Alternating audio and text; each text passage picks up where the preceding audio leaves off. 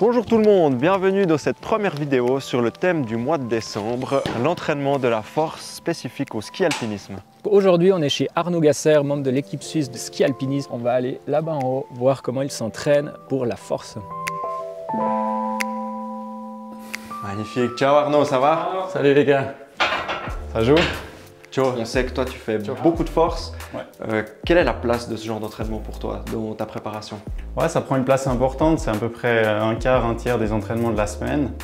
Euh, c'est vraiment du, contenu spécifique au même titre que les intensités et puis les entraînements techniques, donc j'accorde pas mal d'importance à ça. Ouais. On est en décembre, la saison a déjà commencé, il y a déjà eu une Coupe du Monde euh, à Val Thorens. Toi, est-ce que tu continues à t'entraîner en salle ou maintenant est-ce que tu es plutôt que sur les skis? Oui, je continue. Il y, a deux buts euh, aux entraînements de force maintenant. C'est d'entretenir tout ce qui a été préparé ces six derniers mois, de garder ses qualités de force.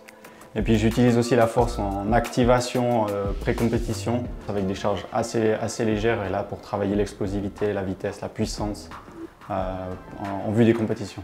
Qu'est-ce que tu pourrais préconiser à des gens qui veulent se préparer en force pour la patrouille des glaciers? Alors, euh, je préconise des exercices euh, assez simples. Hein. Il y a le squat, euh, le split squat, ce qui permet de travailler les faiblesses si on a des différences droite-gauche, le deadlift, le soulevé de terre, et puis le, hip thrust pour les fessiers, qui sont des exercices classiques de la musculation, mais qui permettent déjà de bien développer la musculature du bas du corps. Donc c'est des exercices qui seront polyarticulaires avec la barre qu'on peut voir euh, derrière toi. Euh, quels sont les éléments clés de ces exercices? Est-ce que tu peux nous en citer quelques-uns? Ces exercices-là en libre avec une barre, c'est vraiment la technique et gage de, sécurité. Donc euh, vraiment si, on commence, il faut, se faire aider par des, professionnels dans un fitness ou un préparateur physique pour vraiment acquérir ses bases et ensuite pouvoir pratiquer et puis bénéficier toute la qualité de ces entraînements.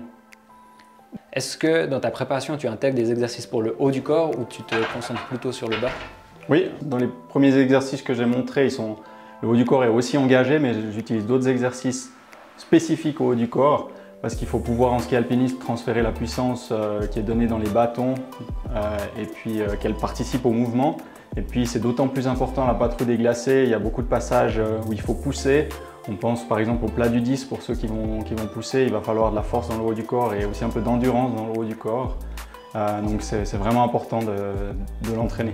Et du coup, à la fin d'une séance de fitness, de force, qu'est-ce que tu peux nous, donner comme conseil pour bien récupérer? Systématiquement, à la fin d'un entraînement, que ce soit de, force ou d'endurance, je prends toujours une, boisson de, récupération avec euh, des protéines et des glucides.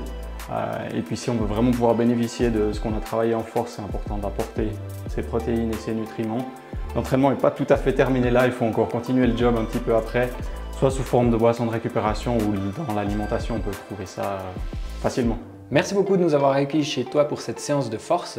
Est-ce que tu aurais des conseils à donner aux athlètes qui préparent la patrouille des glaciers?